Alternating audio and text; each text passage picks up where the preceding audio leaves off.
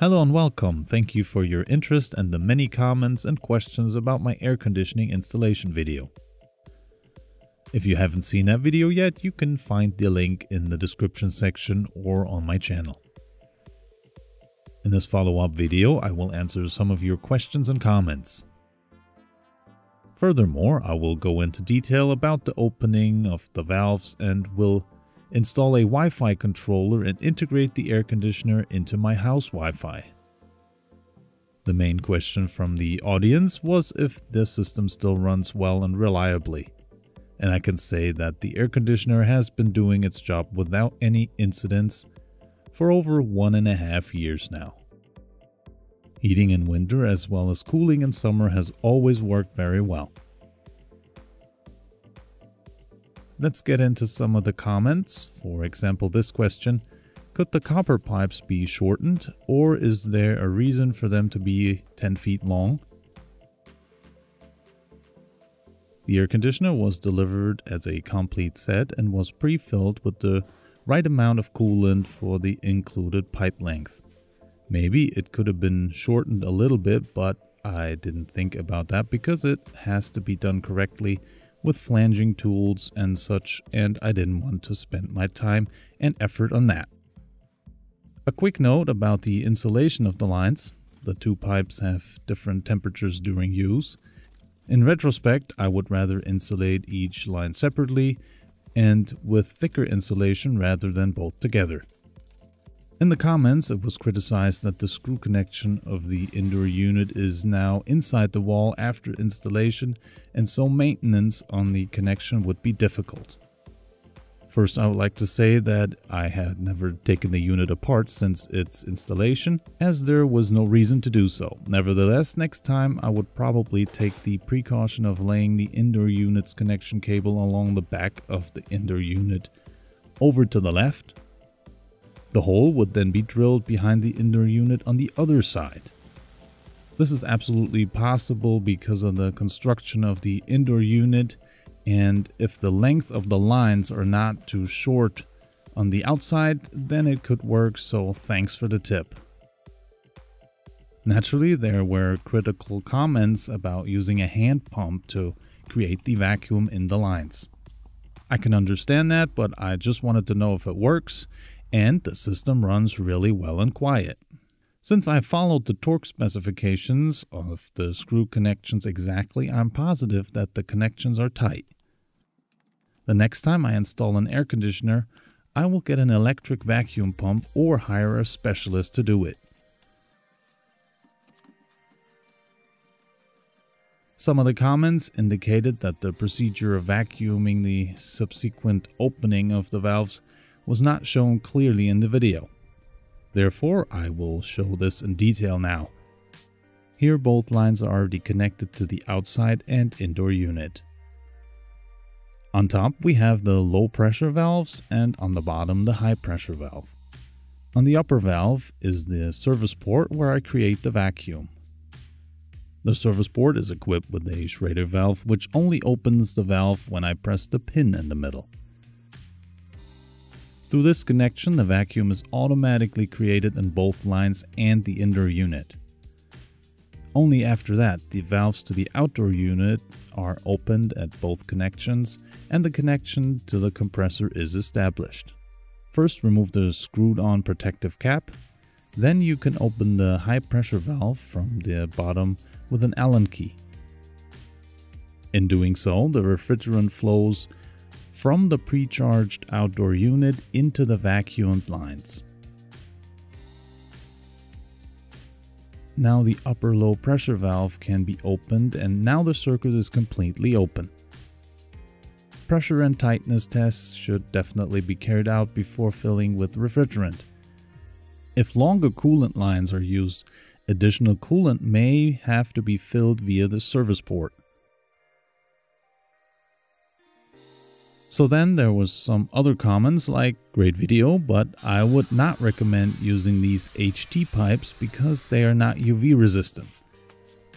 Well the outer wall is facing north and gets relatively little direct sunlight and I believe that the pipes will hold up for a long time. I'm not worried about that, but you could of course use PVC pipes which are more UV resistant. There are also specific AC line cover kits available which I will link in the description section. Next question, do you have to supply the outdoor unit with electricity or is it possible to only power the indoor unit? Sorry if that didn't come out clearly in the video, but I just connected the outdoor unit to a power cable. That's the way the manufacturer of the system designed it. The outdoor unit is supplied with power through the provided black connection cable to the inside. So you don't need a separate power source for the indoor unit. Next comment, UV resistant cables should be used outdoors. That is correct and I didn't do that quite right. Next time I would use a different power cable for outdoor use.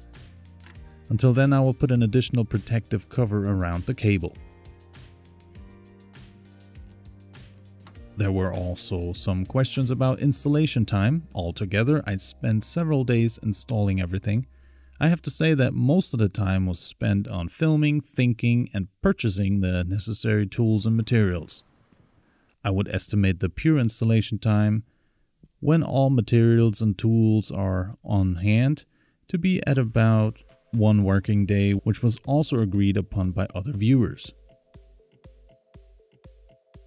Then there were questions about how the system could be controlled via smartphone. Actually, I did not intend to use this function, but then I contacted the manufacturer and they kindly provided me with the appropriate Wi-Fi USB module for this video. Thank you very much and let's install it. To do this, I open the front flap of the indoor unit. Here on the back of the display, this screw is to be taken out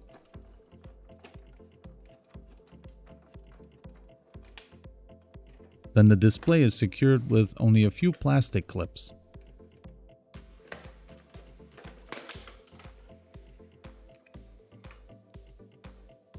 And next we can simply insert the Wi-Fi stick here into the USB slot. The display is then clicked back into the holder.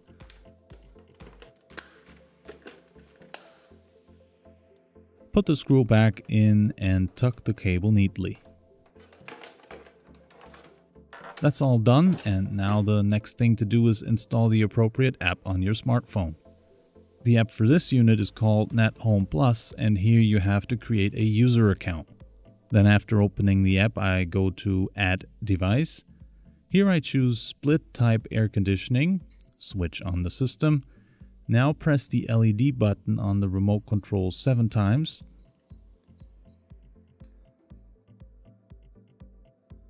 The USB stick is building up a Wi-Fi network to which the smartphone should connect now.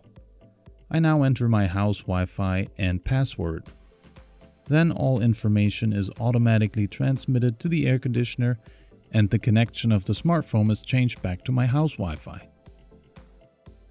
Now I can assign the air conditioner to a room, for example the guest room. Now the added air conditioner appears here in the overview. When I click on it, I can see the operating options that are similar to the remote control. But in addition to that, I also get the live outside and inside temperatures. Furthermore, timer functions and some other settings can be used through the app.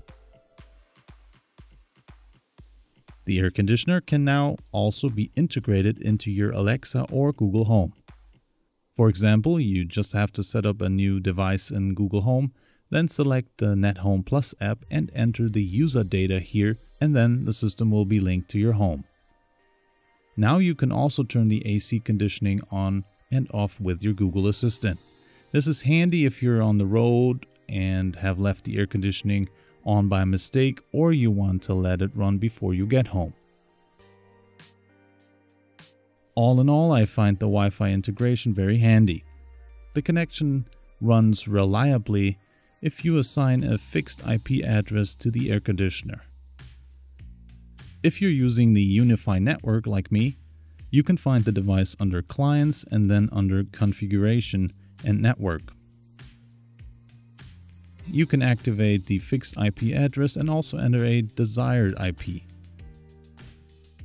According to the manufacturer, a fixed IP improves the communication because you probably use the connection seldomly and it doesn't have to be established permanently. I hope this video was able to answer most of the questions and suggestions I received. All in all, I'm still very satisfied with the installation of the air conditioner. Of course, I advise everyone to hire a specialized company to bring your AC into service, but by installing the system yourself, you can already save a lot of money. In the description section, you will find the appropriate links to this video. Thank you for watching and I'm looking forward to your comments. I wish you much success with your projects. See you soon. I'm Carl, the Landscape Guy.